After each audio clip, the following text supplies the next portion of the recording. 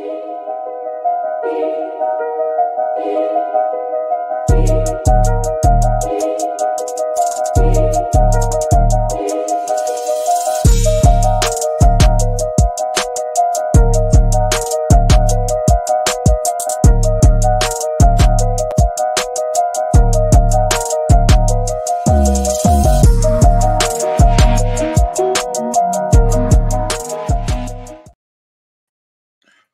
Welcome, guys. So glad you could join us today as we dive into the world of Rapid City Marshals. Hosted by myself, C Green, Marshals Law on Shady Sports Network brings you exclusive interviews, game analysis, and behind the scenes stories of these remarkable athletes and coaches. Get ready to witness the power, passion, and determination of the Rapid City Marshals as they rewrite the rule book and enforce their own brand of justice on the field. This is Marshals Law on Shady Sports Network. Let's bring the law to the game. This show is sponsored by WeatherTight. Stay protected, rain or shine.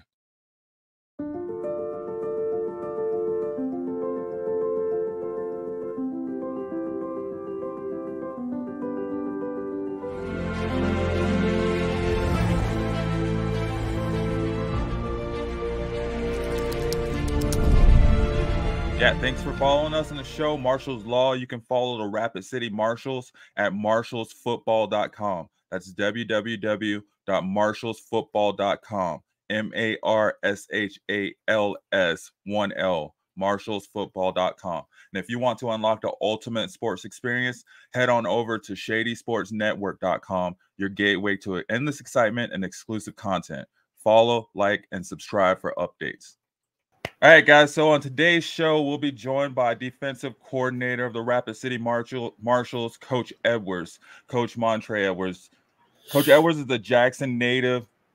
Um, he was an associate head coach and defensive line coach at Holmes Community College. He coached at this guy's coached everywhere over Jackson. He's a Jackson legend, basically. Mm-hmm. Um, he was at Holmes County Central, Murrah High School, Junior High, Canton High. Um, also, I see here it says you're a co-founder of Jackson Giant Sports Club. Yes, sir. I don't know if I don't know if you want to touch on that, but that sounds kind of interesting. I'd like to talk about it.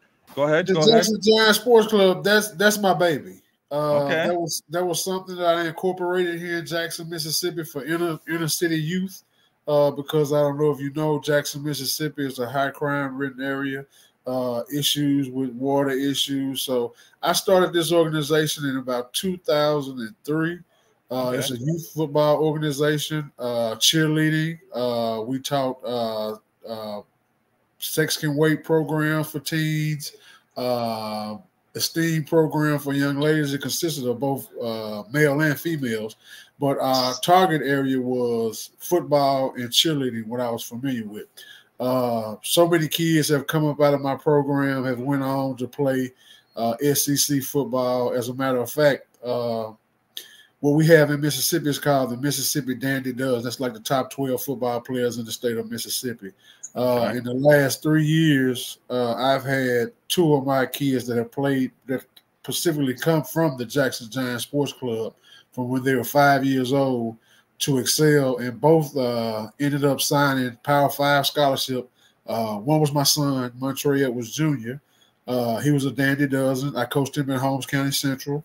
Uh, the other one was Kamari Rogers, another kid that I coached from age five that went all the way up through my program. I also coached him at Holmes County Central. Uh, Kamari is currently uh, playing at Mississippi State University. He signed with Miami. was a was a dandy dozen. My son Montrey uh, was a dandy dozen. He signed with the University of Missouri out of high school. He's currently uh, playing at FAMU. So it's, Nice. it's it's the youth organization. I could go on and on and on and name countless amount of kids that have come through that organization. Uh, we took them on trips. They went. They played in tournaments all over the United States, the South.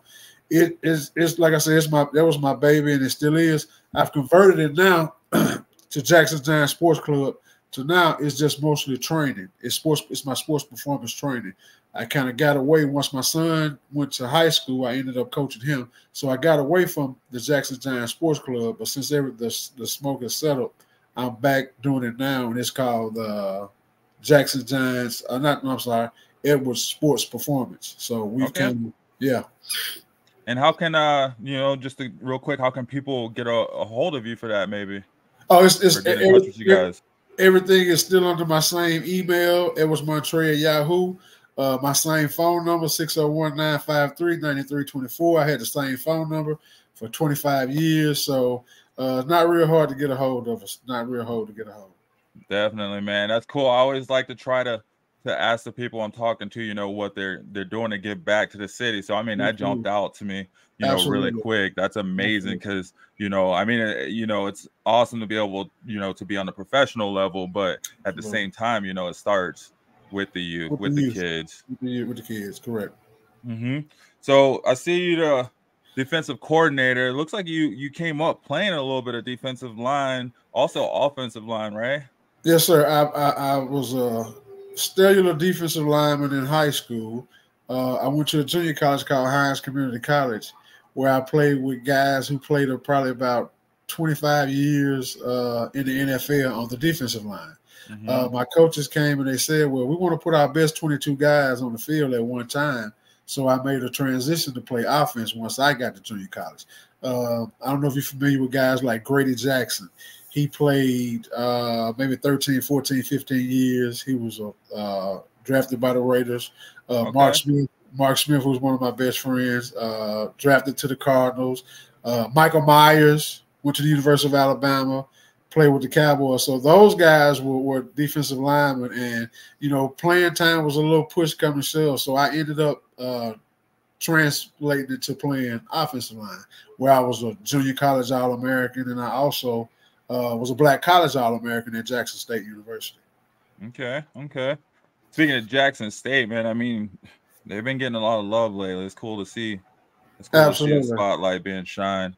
Um, so I mean, man, you got a host of experience. You got a, a lot of experience and and you know some great connections, um, which I think is going to be super helpful for the Marshals. Um, transferring over to the Marshals. I mean, with with all that, with all that history, with all that that knowledge, you know, um, what's your coaching philosophy?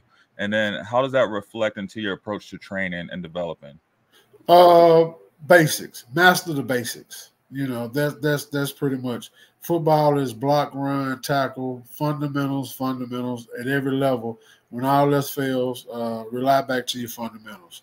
Uh, attitude is everything. Attitude translate. If I'm teaching kids, it's all about your attitude. Your attitude translates from the field to the classroom to home with mom when she says, "Hey, take the garbage out." So it's all about attitude. You know, attitude and gratitude is are, are my two biggest pet peeves, and uh, we're gonna be fundamentally sound. We're gonna master the basics. That's that's what kind of coach I am. Let's master the small stuff. Uh, it's kind of like uh, you can cut the grass, the, the, the grass outside, but if you don't edge it and weed eat it, it defeats the whole purpose. So I'm real big on the small things that makes. Man, that's uh, you're right there. That's funny. That's you know pretty much the same thing Coach X said last week. So it's it's cool to see that you know continue across the board. Absolutely. Um. So um, speaking of that, you said you know the little things. I know um in arena you guys are playing both sides of the of the field Correct. right Correct. so with Correct. with you being on on the defensive side um how do you how do you make you know in game adjustments you know how are you going to go about that and handle um kind of some situations that may arise with you know well my, my thing with that uh mr green is prior preparation prevents poor performance so we, we're going to win over every aspect of a game during practice so when the game comes, the games will be simplified and they'll be easy. So uh, we'll put them in every extreme situation that there's possibly could be. Uh, two minutes of this half, two minutes the beginning of that half.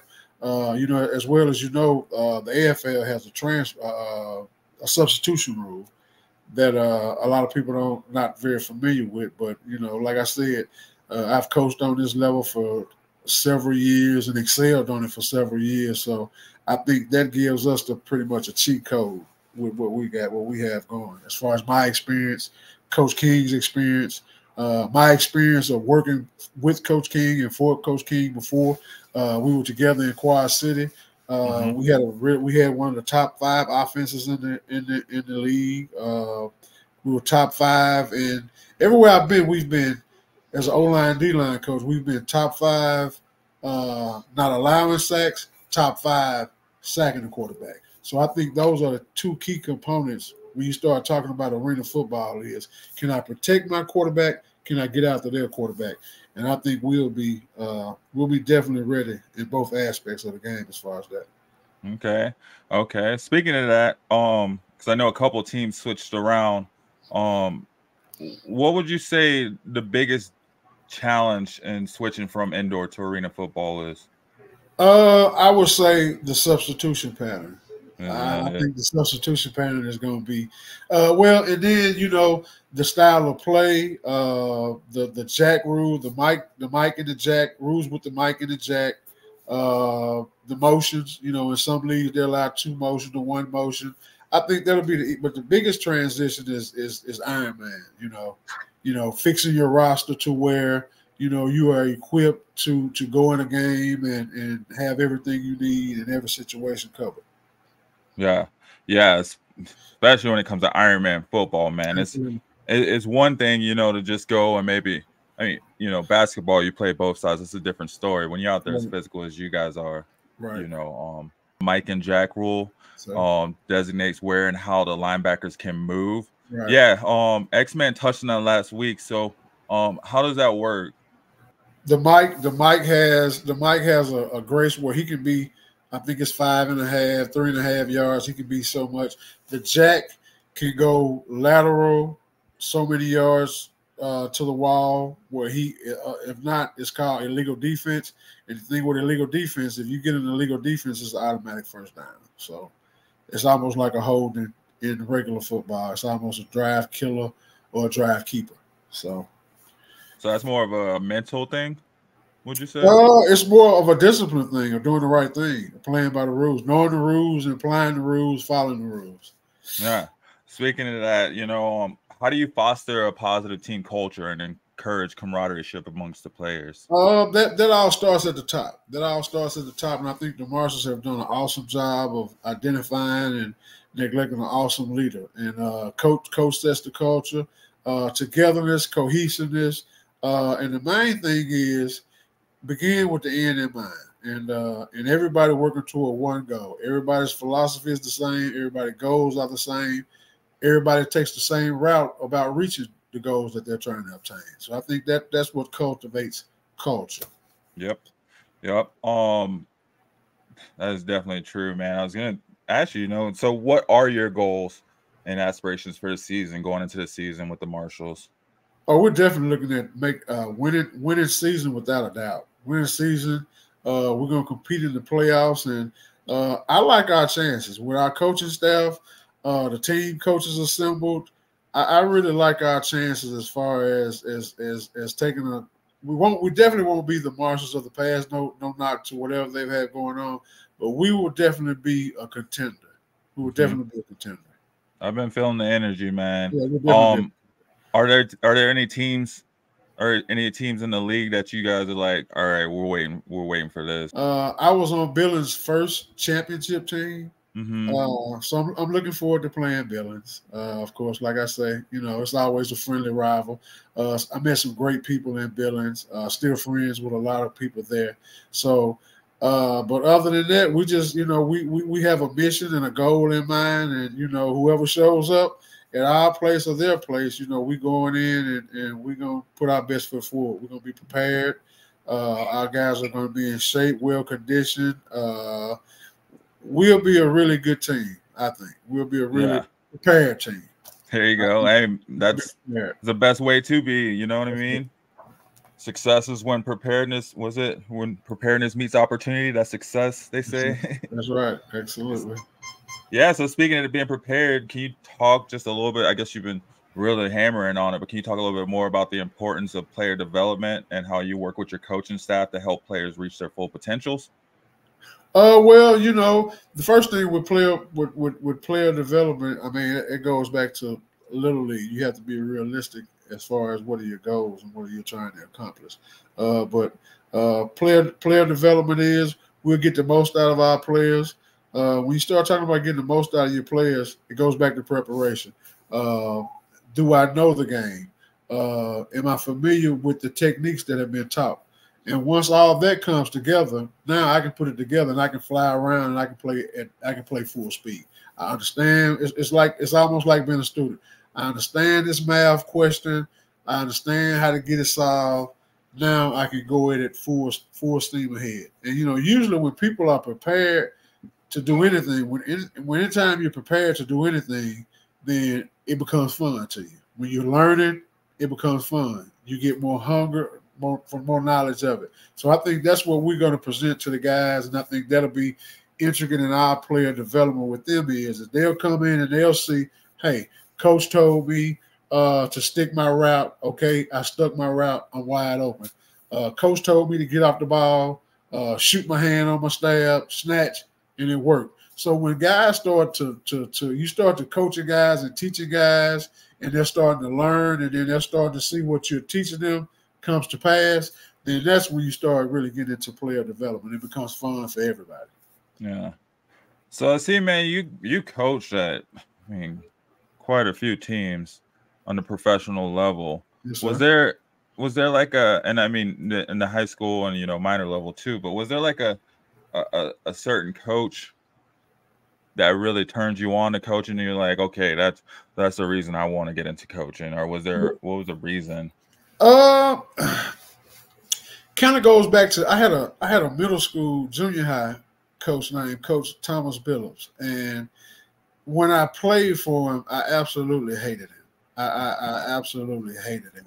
I mean, but the more as I got into being a coach and I see his passion for just kids, this passion for people and and and, and carrying on knowledge to them to help them exceed in life. And you know, the more I got into it, I said, you know, I want to be like coach. I want to make, you know, I want to come and I want to make uh difference in people's lives. And you know, uh he was a tough coach and a lot of times with with with anything that's worth having is worth working for. Anything that's easy, that's just handed to you, probably not going to last very long, and it's probably not going to be good for you. But I would say my coach, uh, Coach Billups, Coach Thomas Billups, he's a like a high school legend, basketball legend here at the school called Lanier High School. Uh, big, big time, big time basketball school. Uh, a lot of greats like Monta Ellis. He was like one of the last guys to go straight from high school to the NBA. He played for Coach Billups. So Coach Billups has definitely been a pioneer and was one of my uh, was definitely one of my idols that got me into coaching. Nice. Um, well, let me ask you, you got any advice for any aspiring coaches who are looking to maybe make a career into the in professional arena football or well, I guess coaching in general? Be be a lifelong learner. Be be a lifelong learner. Uh, learn as much as you can. Uh, learn as much as you can while you can. Uh, just be a lifelong learner. And uh, the next thing I would say is be a lifelong learner. Be passionate about what you're doing. Be, be passionate about what you're doing and just be a lifelong learner. And the main thing that's overlooked in this coaching profession is is loyalty. Be loyal if you know, because I mean, loyalty is everything in this business nowadays. You know, mm-hmm. you can always get somebody in and kind of teach them the ropes, but loyalty is very, very important. I would tell you, be loyal to be be where your feet are. If if that's where you are at this level, be there, be a hundred, be all in. Uh, in order to be a good head coach, you have to be a good assistant at some point. So if you aspire to be a good a head coach, you have to be the assistant coach that you would want to be you would want as a head coach. So I would say those main two things. But loyalty is, is very, very important. Yes, sir. Yes, sir. Um, shoot, man. It's been a good talk. Is there anything else you want to maybe touch on? Uh no, that's that's that's about it. I mean, you know, uh I'm just looking forward to the season, looking forward to getting those big guys up and running because we all know uh football it doesn't change. It's all about your bigs, you know my, my O line and my D line, and I think I'm one of the I'm one of the better. I have the experience, and I'm just I'm just excited about getting back to work. You know, I'm excited about the opportunity. I'm excited about the AFL reemerging. I'm excited about the owners I think they have the right mindset. I think we all on the same page as far as what we want to get out of this thing, and I'm just ready to go. I'm just looking forward to it. and I'm ready to go. Super there excited. you go. There you go. Um, just to remind you guys, we are on right now. My name's Cedric Green, C Green. This is Marshals Law. I'm on with Coach Edwards, Coach Montrey Edwards, defensive coordinator of the Rapid City Marshals. You can follow us at Shady Sports Network. You can follow the Marshals at check out marshalsfootball.com. You can go and purchase your tickets. If you use the code Shady10, you'll get 10% off. Um, so go ahead and get that code, get that discount, and go check these guys out because it's a new season, like Coach Edwards said. Um, they're sticking to the little things, you know, they're getting back to the basics and they're ready to bring the fundamentals, man. It's gonna be exciting to watch them this season. So, coach, um, before I let you go, man, um, let me just ask you real quick: What do you prefer, offense or defense? Uh, defense. Defense wins championships. Defense and special teams. You know, offense okay. is just the people in the stands, but defense, you know, we're gonna be ferocious. We're gonna be agile. We're gonna be hostile. We're gonna be mobile. Uh, and our and our trademark is takeaways and turnovers. That's what we're gonna do. We want the ball. We're gonna play defense like it's offense. We want the ball. We want to score, and uh, we want to uh, combat you on everything you're doing, and we want to take your will to compete. And that's what we're gonna be about. Hey, I'm ready for it. That sounds scary for the other teams, man. If your defense is coming out like an offense, so let's Absolutely. get it. I'm ready for it, man. Well, thanks for coming on, Coach Edwards. It's been a pleasure. Pleasure, um, Steve. Thank you for having me. Yes, sir. And if you want, before you go, man, let everybody know where they can follow you again, where they can find you and check out. Um, you can um, check me out on uh, Twitter. I'm on Twitter, uh, Montrey Edwards Senior on Twitter. Okay, there we go, man. Well, before I let y'all go, let you um, we got something new that we're trying. So we have a trivia question. It's our weather tight trivia question of the week. What year were the Rapid City Marshals founded? So if you're a Marshals fan, you die hard, you know what year they were actually founded. So think about it, get your question in the comments, come back next week and find out if you're if you're right. I'm a game changer.